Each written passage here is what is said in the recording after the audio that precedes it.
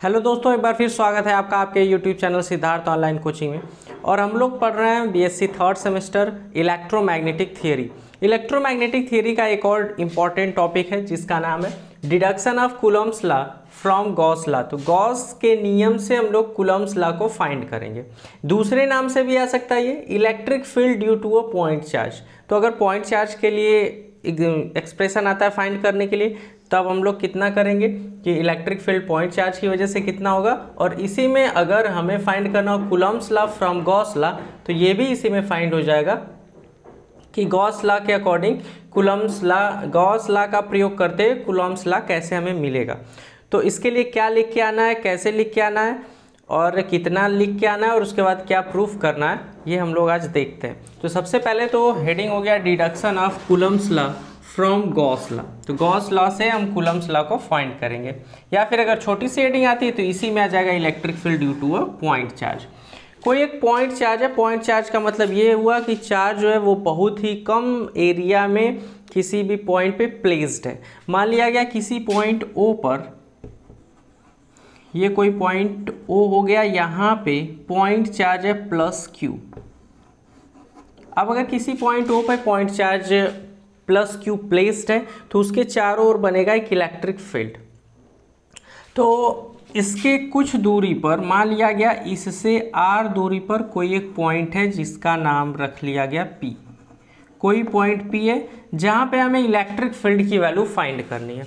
जो दोनों हेडिंग्स में जितना काम करना होगा, इतना तो करना ही होगा कि सबसे पहले एक पॉइंट चार्ज लिया जाएगा। क्योंकि पॉइंट चार्ज की वजह से ही इलेक्ट्रिक फ़ील्ड फाइंड करना तो सबसे पहले इलेक्ट्रिक फ़ील्ड फाइंड ही करना होगा। और गॉस ला की सहायता से कुलम्स ला को फाइंड करें, तब भी इतना काम करना होगा। तो सबसे पहले लिया जाएगा एक पॉइंट चार्ज पॉइंट चार्ज हो गया प्लस क्यू जो कि पॉइंट ओ पे रखा हुआ है। अब उसके बाद क्या होगा? इससे आर डिस्टेंस पे कोई पॉइंट पी है, जहाँ पे हमें इलेक्ट्रिक फ़ील्ड की वैल्यू कैलकुलेट करनी है। अगर इलेक्ट्रिक फ़ील्ड की वैल्यू कैलकुलेट करनी है तो ये कोई अगर कहीं पर भी पॉइंट चार्ज ये प्लेस कर दिया गया तो इसके चारों ओर बनेगा एक इलेक्ट्रिक फ़ील्ड इलेक्ट्रिक फ़ील्ड इसके चारों ओर बनेगा मतलब एक स्फेयर के फॉर्म में इलेक्ट्रिक फ़ील्ड बनेगा। तो अब इसके चारों ओर आर रेडियस का ही एक इस प्रकार से स्फेयर ड्रॉ कर लिया जाए अगर। आर रेडियस का ही अगर कोई एक स्फेयर ड्रॉ कर लिया जाए इस प्रकार से।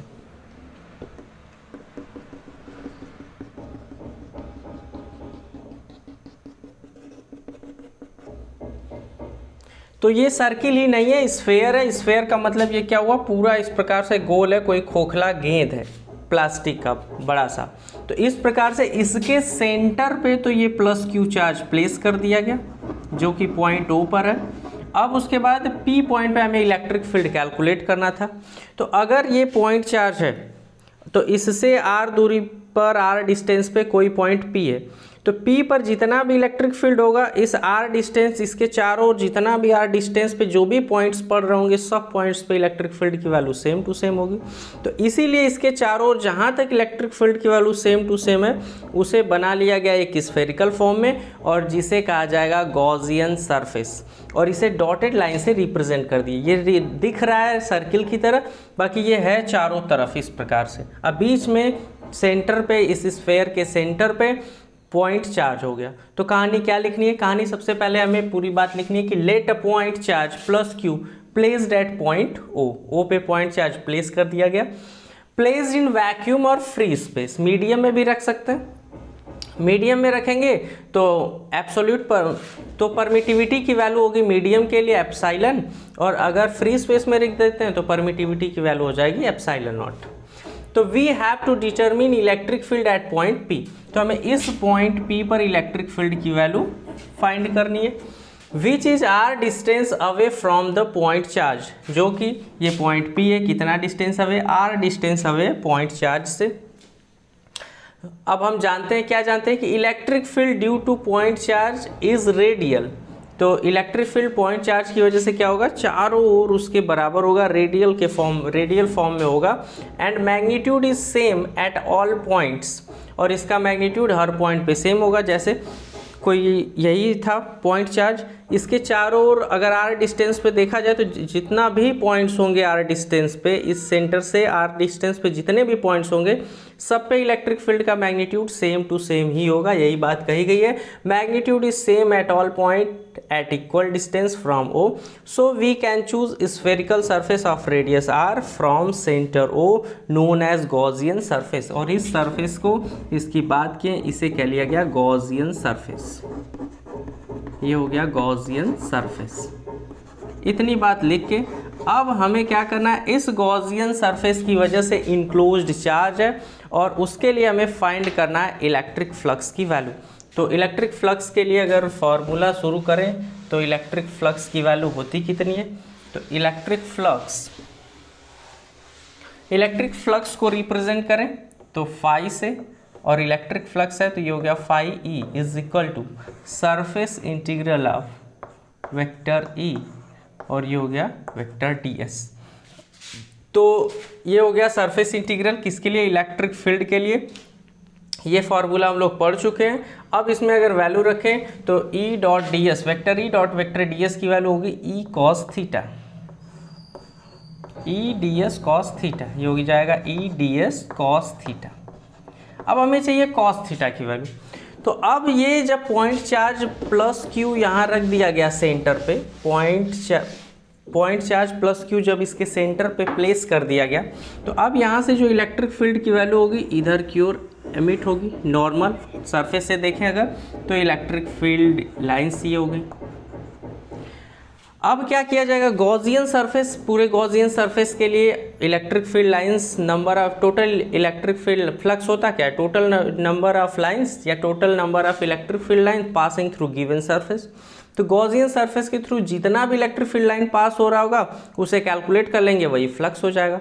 तो गॉजियन सरफेस पे एक छोटा सा सेगमेंट छोटा सा पार्ट यहाँ मान लिए काट लिए और इसकी वजह से इस छोटे से पार्ट में हम लोग फाइंड कर लेंगे कि इलेक्ट्रिक फ्लक्स की क्या वैल्यू है।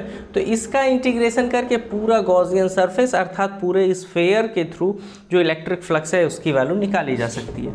तो ये जो सरफेस है, कटा हुआ बाग है, इसे मान लिया गया इसका जो सरफेस एरिया ये हो गया डीएस तो किसी भी सरफेस एरिया से जो उसका एरिया वेक्टर होता है, वो होता है उसके परपेंडिकुलर तो ये इस फेयर का कटा हुआ भाग था, मान लिया गया ये इस फेयर है, छोटा सा इसका एरिया हो गया डीएस तो इसका जो एरिया वेक्टर होगा, वो होगा इसके परपेंडिकुलर तो इसके परपेंडिकुलर एरिया वेक्टर बना है तो ये यही इधर ही बन रहा है, ये हो गया वेक्टर डी तो दोनों के बीच का जो एंगल है थीटा इज़ इक्वल टू हो गया ज़ीरो डिग्री अब theta is equal to zero degree हो गया तो यही चीज़ यहाँ सब अप्लाई कर दें.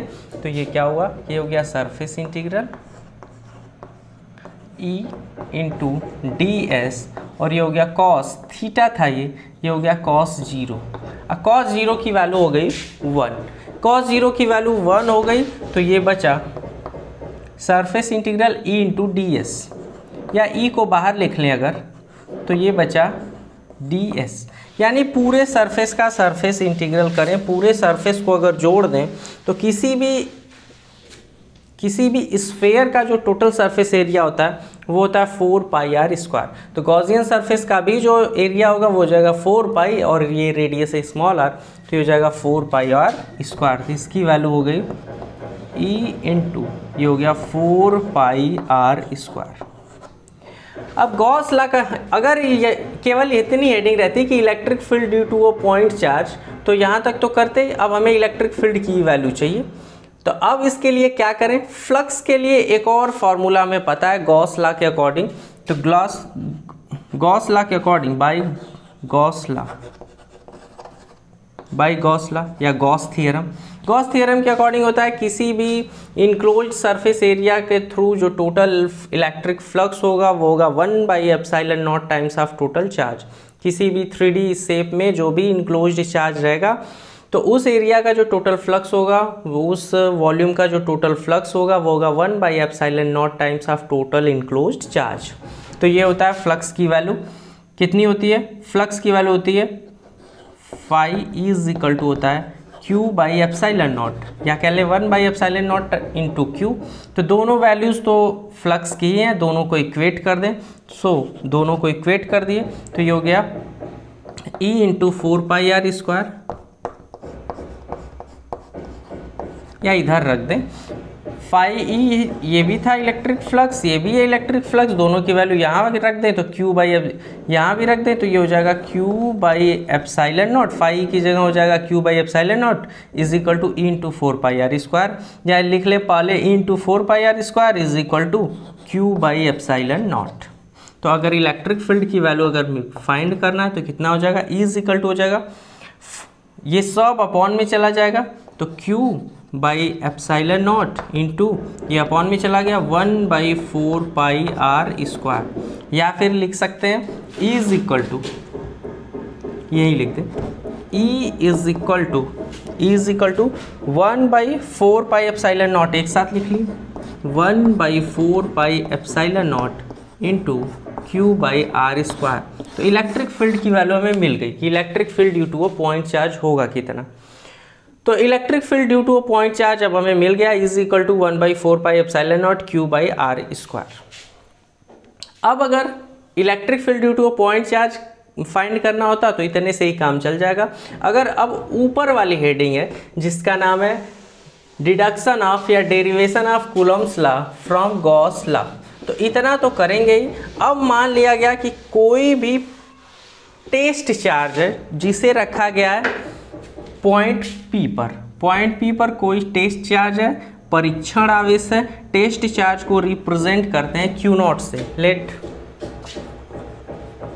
test charge let test charge Q not is placed is placed is placed at point P तो पॉइंट पी पर टेस्ट चार्ज रख दिया गया। अगर टेस्ट चार्ज रख दिया गया तो इलेक्ट्रिक फ़ील्ड इंटेंसिटी की वैल्यू होती क्या? इलेक्ट्रिक फ़ील्ड इंटेंसिटी की वैल्यू किसी भी परीक्षण आवेश पर टेस्ट चार्ज पे होती है। एफ़ बाई क्यू नॉट पर यूनिट पॉजिटिव टेस्ट चार्ज पे जितना भी फोर्स लग रहा होगा, उसे कहा जाएगा इलेक्ट्रिक फ़ील्ड इंटेंसिटी तो अगर यहाँ से F की वैल्यू फाइंड करें तो F बराबर हो जाएगा।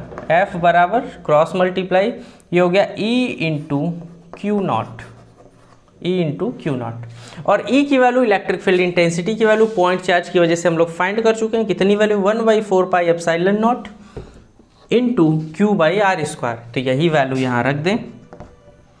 तो f is equal to one by four pi F epsilon not into Q by R square ये तो e की वैल्यू हो गई। इंटू हम कर दें क्यू नॉट तो f इज़ इक्वल टू हो गया one by four pi F epsilon not q into Q not by R square और यही होता है कुलम्स ला दो चार्जेस के बीच में लगने वाला फोर्स क्या होता है? One by four pi epsilon not into Q into Q not by R square अगर इसे वेक्टर फॉर्म में लिखें तो वेक्टर फॉर्म में भी लिख सकते हैं इसे. Vector F is equal to one by four pi epsilon not into Q into Q not I R square into हो गया आर कैप तो ये था, इतना ही था deduction of Coulomb's law from Gauss law या फिर electric field due to a point charge अगर इसे एग्ज़ाम में आता है आपको तो इतना लिख के आना होगा। तो मिलते हैं दोस्तों अगले वीडियो में। Thanks for watching.